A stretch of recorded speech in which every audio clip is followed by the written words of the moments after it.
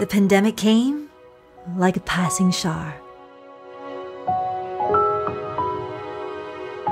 After the rain comes the sun.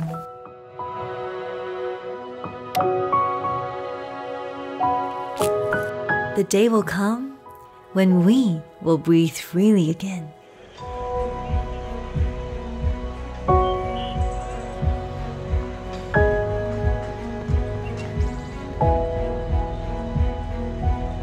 Don't let moments slip by.